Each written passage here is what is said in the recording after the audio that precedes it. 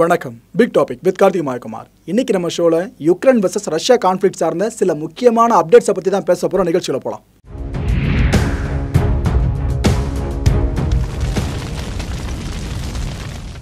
லாவ்ரவ் சொன்னதா? ஒரு தகவலை இந்த ரஷ்யாவோட பெரிய நியூஸ் ஏஜென்சி ஒன்று இருக்குல்ல டாஸ் அவங்க வெளியிட்டிருக்காங்க செய்தியா? என்ன தெரியுமா சொல்லியிருக்காங்க? இந்த கான்ஃப்ளிக்ட் ஆரம்பித்து ஐம்பத்தி ஆறு நாட்களை கடந்திருக்கு. ஆனால் இப்போ வரைக்கும் இந்த ஐநாவோட பொதுச் செயலாளர் இருப்பார்லங்க அவர் ஒரு தடவை கூட புட்டின் கிட்ட ஃபோனில் கூட பேசலை. அப்போ அவங்க என்ன நினச்சிக்கிட்டு இருக்காங்க? ரஷ்யா தான் எல்லாத்தையும் வேணும்னு வேணும்னு பண்ணிக்கிட்டு இருக்கிறதா? அவங்க நினச்சிக்கிட்டு இருக்காங்களா? ஏதோ ரஷ்யா தான் இந்த குற்றங்கள் எல்லாத்தையும் காரணன்ற மாதிரி அவங்க நினச்சிக்கிட்டு இருக்காங்களா? ஒரு தடவை கூட இவர் பேசல அப்படின்னா கண்டிப்பாக இதுதான் நாங்கள் அர்த்தமாக இருக்கும். அது இதுன்னு லவ்ரா அவர்கள் சொன்னதாக அந்த டாஸ் நியூஸ் ஏஜென்சி இப்போ இந்த செய்தியை வெளியிட்டிருக்காங்க. இது ஒரு புதிய புயலை கிளப்பி விட்டுருக்கு. ஏன்னா நாம் என்ன நினச்சிட்டு இருந்திருப்போம்? ஐநாவோட பெருந்தலைகள் புட்டின் கிட்ட பேசுவாங்க. சமாதானத்தை கொண்டு வர முற்படுவாங்க அப்படின்னு நினச்சிக்கிட்டு இருப்போம். ஆனால் இப்போ டாஸ் நியூஸ் ஏஜென்சி சொல்கிறது இந்த மாதிரி சொல்கிறாங்க ஆனால் இப்போ டாஸ் நியூஸ் ஏஜென்சி மாதிரி ஒரு சில ஏஜென்சி சொல்கிறது இது போல் செய்திகளை சொல்லிக்கிட்டு இருக்காங்க.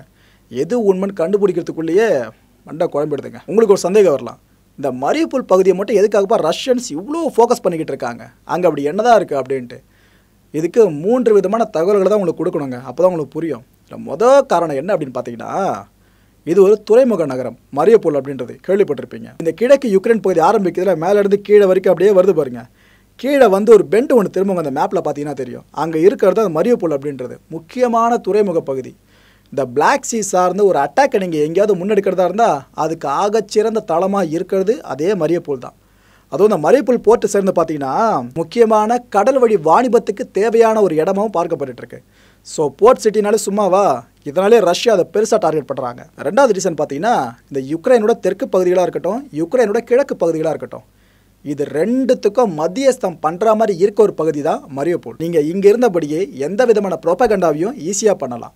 ரஷ்யா ஆதரவு ப்ரொப்பகண்டாவாக இருந்தாலும் சரி யுக்ரைன் அரசுக்கு எதிரான ப்ரொப்பகண்டாவாக இருந்தாலும் சரி அந்த இடத்துல இருந்து ஈஸியாக பண்ண முடியும்.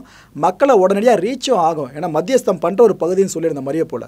ஸோ இதனால் கூட ரஷ்யன்ஸ் இந்த பகுதியை செலக்ட் பண்ணி இவ்வளோ தூரம் தாக்குதல்களை முன்னெடுத்துட்டு இருக்கலாம். இதில் அல்டிமேட்டாக பார்த்தீங்கன்னா கட்டுப்பாட்டு மையமாக கூட இந்த குறிப்பிட்ட மரியப்பூல் பகுதி திகழுங்க இந்த தெற்கு கிழக்கு பகுதிகள் சொன்ன மாதிரி ஒரு கம்பாரிசன் அதை சேர்ந்த கட்டுப்பாட்டு பகுதியோட எந்த மாற்று கருத்தும் இல்லை அதில். நம்ம கொஞ்ச நாளாக செர்னோபில் பிளான்ட்டை பற்றி பேசாமே இருந்தோம். ஏன்னா அங்கே தொடர்ந்துட்டு இருந்த அச்சுறுத்தல் தான் நீங்கிடுச்சு. இதுக்கப்புறம் ஏன் பேசணும்னு பேசாமல் இருந்தோம். இப்போ பேச வேண்டியதாகிடுச்சிங்க பயப்படாதீங்க. கெட்ட விஷயம் இல்லை நல்ல விஷயம் சம்மந்தமாக தான் இந்த ஐஏஇஏ இருக்காங்களே இன்டர்நேஷ்னல் அட்டோமிக் எனர்ஜி ஏஜென்சி இந்த அமைப்பை சேர்ந்தவங்க தான் இந்த தகவலை வெளியிட்டிருக்காங்க. என்ன சொல்கிறாங்கன்னா இந்த செர்னோபில் பிளான்ட் உடனான எங்களோட நேரடி கம்யூனிகேஷன் அப்படின்றது இவ்வளோ நாளாக துண்டிக்கப்பட்டிருந்துச்சு. ஃபார் த ஃபர்ஸ்ட் டைம் இப்போ அது ரீஸ்டோர் பண்ணப்பட்டிருக்கு. ஸோ பிரச்சனை இல்லை தகவல் தொடர்பு ரெண்டு தரப்புக்கு இடையில கரெக்டாக இருக்குது அப்படின்னு சொல்லியிருக்காங்க. இது ரொம்ப ரொம்ப முக்கியங்க. ஏன்னா திடீர்னு உள்ளே ஏதாவது அணு சார்ந்த கசிவு ஏற்பட்டு அது காற்றில் இருக்க டஸ்ட் பார்ட்டிகள் மூலமாக ஐசோடப்ஸாக வெளியே அப்படியே பரவ ஆரம்பிச்சிச்சுன்னா அது பெரிய தலைவலியை கொடுத்துரும். இந்த அளவை மெஷர் பண்ணுற விஷயங்களாக இருக்கட்டும் இதை சார்ந்த எச்சரிக்கையை முன்னவே கொடுக்கறதா இருக்கட்டும் இந்த தகவலை கரெக்டாக உலக நாடுகளுக்கு கொண்டு போய் சேர்க்கறதா இருக்கட்டும். இது எல்லாத்தையும் ஐஏஇஏ பண்ணணும் அப்படின்னா இந்த டைரக்ட் கம்யூனிகேஷன் ப்ராப்பராக இருக்கணும். அப்பேற்பட்ட முக்கியத்துவம் வாய்ந்த விஷயம் இது. அதுதான் இப்போ ரிஜிஸ்டர் பண்ணப்பட்டிருக்கிறதா? இந்த அமைப்பு சொல்லியிருக்கேன் இந்த சூளுர் வைக்கிறதுல நம்ம ஜெலன்ஸ்கியை அடிச்சிக்க முடியாதுங்க. இப்போ என்ன சொல்லியிருக்காப்புலன்னா நாங்கள் பல ஆயுதங்களை கேட்டிருக்கோம் பல நாடுகள் கிட்ட. ஆயுதங்கள் உதவி வருது ஆனால் நாங்கள் கேட்ட எல்லா ஆயுதங்களும் கிடைக்க மாட்டுது. ஒரு வேளை நாங்கள் கேட்குற எல்லா விதமான அதிநவீன ஆயுதங்கள் மட்டும் கிடச்சிருச்சு அப்படின்னா ஒரு சில நாட்களுக்குள்ளேயே இந்த குறிப்பிட்ட போரை நாங்கள் முடிச்சிருவோம் அப்படின்னு சொல்லியிருக்காரு. புரியுதா? ரஷ்யன் சோல்ஜர்ஸை ஒட்டுமொத்தமாக அடித்து காலி பண்ணிவிடுவோம் இதுதான் இதுக்கான அர்த்தம். அவ்வளோ வெப்பன்ஸ் உங்களுக்கு தேவைப்படுதான். இவங்க இவ்வளோ யோசிக்கிறாங்கன்னா பல நாடுகளுக்கு ஆயுதங்களை தயாரித்து ஏற்றுமதி பண்ணுற நாடு ரஷ்யா. அவங்க இதை விட பெருசாக யோசிக்காமல் இருந்திருப்பாங்க. இந்த போர்க்காலத்தில் அதிர்ஷ்டம் இருக்கிறதெல்லாம் ரொம்ப பெரிய விஷயங்க. ஏதாவது ஒரு நேரத்தில் மட்டும்தான் அதை நம்ம உணர முடியும். அப்பேற்பட்ட ஒரு விஷயம் இப்போ அரங்கேறி இருக்குது இந்த ரஷ்ய படையினரை எதிர்த்து யுக்ரைனியன் சோல்ஜர்ஸ் பயங்கரமாக போரிட்டுக்கிட்டு இருக்காங்கள இந்த நேரத்தில் ஒரு குறிப்பிட்ட யுக்ரைனியன் சோல்ஜருங்க அவர் என்ன பண்ணுறாரு தன்னோட பாக்கெட்டில் ஒரு செல்ஃபோனை வச்சுக்கிட்டு போரிட்டுக்கிட்டு இருந்திருக்காரு. அப்போ எதிர் தரப்புல இருந்து இட் மீன்ஸ் ரஷ்ய தரப்புல இருந்து ஒரு துப்பாக்கி தோட்டா இவரை நோக்கி வந்திருக்கு. இவர் கவனிக்காமல் வந்திருக்காரு அதை. இவரோட பின்புறமாக இருந்த அந்த செல்ஃபோன் மேலே அந்த தோட்டா பட்டிருக்கு. பட்ட தோட்டா அந்த செல்ஃபோனுக்குள்ளேயே அப்படியே தங்கிருச்சு. இந்த ஃபோனுக்கு மேலே கவர் வரும் பார்த்தீங்களா அதில் பட்டா அப்படியே உள்ளே தங்கிடுச்சு அந்த செல்ஃபோனில் ஓட்ட போட்டு. நல்ல வேலை அதை தாண்டியோட உடம்பை கிழிச்சிட்டு போகலை. இந்த ஒரு தோட்டம் அவர் உடம்புல இறங்கியிருந்தா உங்களுக்கே புரிய என்ன ஆயிருக்கும்னு. ஆனால் அந்த மனுஷன் உயிர் படிச்சிருக்காருங்க இந்த செல்ஃபோனால் அவர் சும்மா இல்லாமல் என்ன பண்ணியிருக்காரு அந்த செல்ஃபோனுக்குள்ளே அந்த தோட்டா இறங்கியிருக்கும் பார்த்தீங்களா செவன் பாயிண்ட் டூ எம்எம் அந்த தோட்டா இதை அந்த செல்ஃபோனுக்குள்ளே சிக்கியிருக்க மாதிரி எடுத்து காட்டுறாரு. இதை அவரோட சகாக்கள் வீடியோவை எடுத்து சோஷியல் மீடியாவில் அப்லோட் பண்ணி வச்சிருக்காங்க. அந்த வீடியோவில் கேப்ஷன் என்ன தெரியுமா சொல்லியிருக்காங்க? எங்களுக்கு என்ன ஆனாலும் சரி எங்கள் மண்ணை விட்டு கொடுக்க மாட்டோம். ஒரு தோட்டா இங்கே வந்து சிக்கியிருக்கு. ரஷ்யா படம் சிக்கிறதுக்கு எவ்வளோ நேரம் ஆகும்? அது இதுன்னு பல ஏக வசனங்களையும் அங்கே பார்க்க முடியுது. இந்த யுக்ரைன் வர்சஸ் ரஷ்யா கான்ஃப்ளிக்ட் ஆரம்பித்த பிற்பாடுல நிறைய நாடுகளோட தலைவர்கள் நம்ம இந்தியாவை நோக்கி படையெடுத்து வந்துக்கிட்டு தான் இருக்காங்க. வர்றவங்கெல்லாம் சொல்கிற ஒரே ஒரு டிஃபால்ட்டான காரணம் பார்த்தீங்கன்னா இந்தியாவுடனான எங்களோட நட்பை நாங்கள் வளர்க்க போகிறோம் அவ்வளோதான் அப்படின்றாங்க. ஏற்கனவே இருக்கிற உறவை நாங்கள் இன்னும் மேம்படுத்த போகிறோம் அவ்வளோதான் அப்படின்றாங்க. ஓகே இந்த பட்டியலில் புதுசாக இணைஞ்சிருக்கவங்க இந்த யூரோப்பியன் யூனியன் இருக்குல்லங்க அதோட சீஃப் உர்சுலா வேண்டன் லீன் இவங்க தான் வர்ற இருபத்தி நாலாம் தேதி இவங்க இந்தியா வராங்க. ஆக்சுவலாக இவங்க வரதுக்கு ரெண்டு நாள் முன்னாடியே போரிஸ் ஜான்சன் வந்துருவார் போல இருக்கு இந்தியாவுக்கு. தொடர்ந்து எந்த வராங்க பார்த்தீங்களா இவங்களோட நிகழ்ச்சி நிரல் என்ன அப்படின்னு பார்த்தீங்கன்னா இந்தியா வந்த பிற்பாடு நம்ம குடியரசுத் தலைவர் ராம்நாத் கோவிந்த் அவர்களும் இங்கே சந்திக்க போகிறாங்க அதை நீட்சியாக பிரதமர் நரேந்திர மோடி அவர்களையும் சந்திக்க போகிறாங்க சந்திக்கிற இவங்க இந்த இயு அண்ட் இந்தியா ரெண்டு தரப்புக்கும் இடையில இருக்க ட்ரேடை பற்றி பெருசாக பேச போகிறாங்களாம் ஆலோசனை.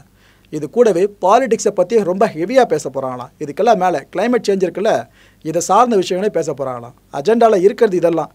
எனக்கு தெரிஞ்ச பர்சனலாக சொல்லதாக இருந்தால் யுக்ரைன் விவகாரத்தை பற்றி பேசாமல் இருப்பாங்க.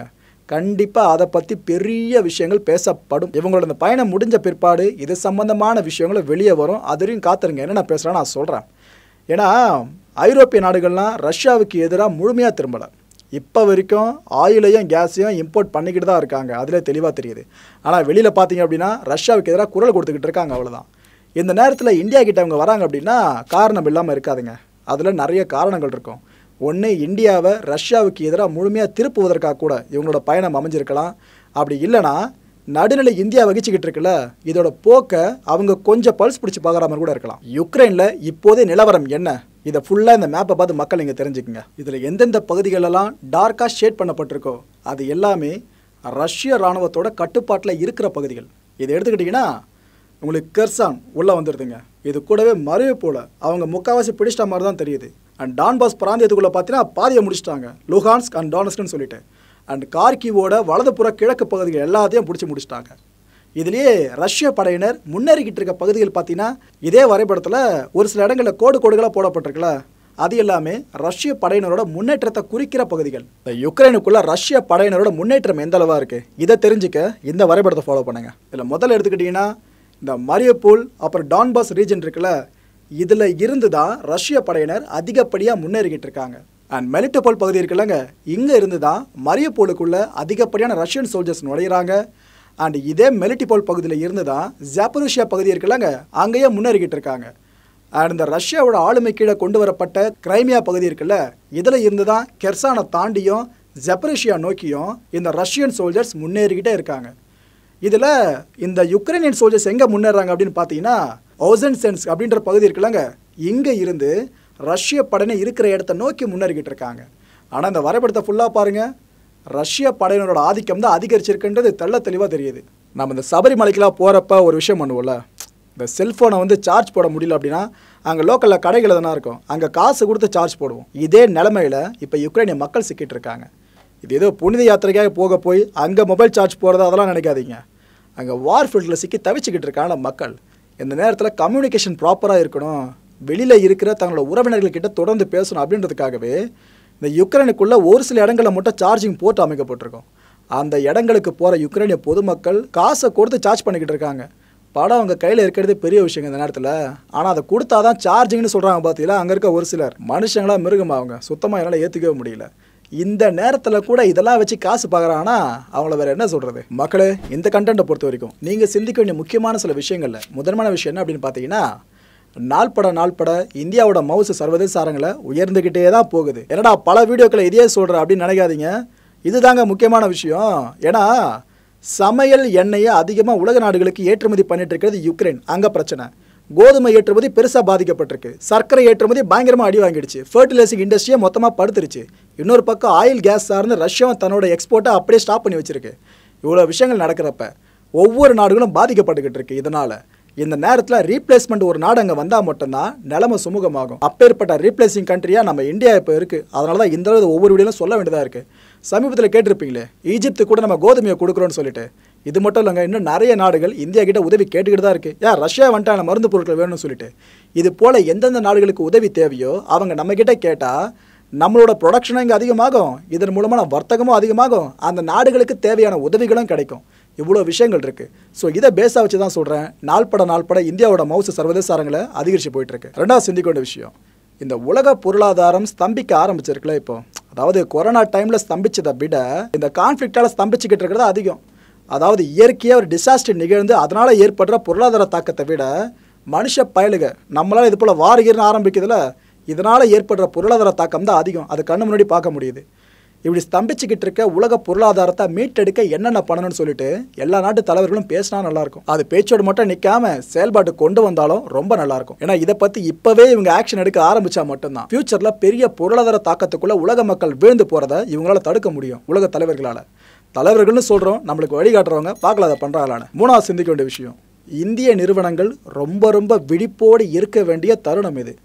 இதை விட்டுட்டோம் அப்படின்னா வெளிநாடுகளில் பெருசாக நம்மளோட வியாபாரத்தை விஸ்தரிக்கணும் அப்படின்ற ஒரு கனவு இருக்குல்ல? அது கடைசி வரைக்கும் கனவாகவே போயிடும்.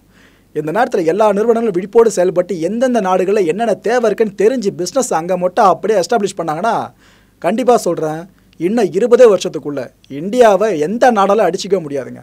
வர்த்தக ஸ்திரத்தன்மையில் நாம் மேலே நிற்போம் மற்ற நாடுகள் நம்மளுக்கு கீழே இறங்கும். அந்தளவு பெருசாக சோபிக்கலாம். இதில் அல்டிமேட்டாக சிந்திக்க வேண்டிய விஷயம் என்னென்னு பார்த்தீங்கன்னா கிழக்கு யுக்ரைன் பகுதியில் ரஷ்யா இப்போ தாக்குதலை முன்னெடுத்துட்டு இருக்காங்களே எனக்கு தெரிஞ்சு ரஷ்யாவோட ரொம்ப பெரிய கடைசியான தாக்குதலாக இதுதான் இருக்க போகுது. அதில் எந்த மாற்று கருத்தும் இல்லை. ஏன்னா அந்த பகுதி தான் அவங்களோட பிரைமரி டார்கெட்டு அதே அவங்க அடித்து பிடிச்சிட்டாங்கன்னா அதுக்கப்புறம் பெருசாக கான்ஃபிடண்ட் அவங்க தூக்கிட்டு போக போகிறாங்க பார்க்கலாம். இதில் என்ன சேஞ்ச் ஓவர் நடக்க வாய்ப்பு இருக்குது இல்லை சேஞ்ச் ஓவரே இல்லாமல் நம்மளோட ப்ரெடிக்ஷன் கரெக்டாக முடியுதான்னு சொல்லிட்டு. அடுத்த நிகழ்ச்சியில் சந்திக்கலாம். நன்றி. வணக்கம். வணக்கம் நேர்களே நம்மளோட மாயம் டிவி யூடியூப் சேனலை யாராவது சப்ஸ்கிரைப் பண்ண விரும்புனீங்கன்னா கீழே இருக்க கமெண்ட் பாக்ஸில் ஃபர்ஸ்ட் கமெண்ட்டாக போட்டு பின் பண்ணியிருக்க லிங்க்கை அதை கிளிக் பண்ணி நம்மளோட புது சேனலையும் சப்ஸ்கிரைப் பண்ணுங்கள்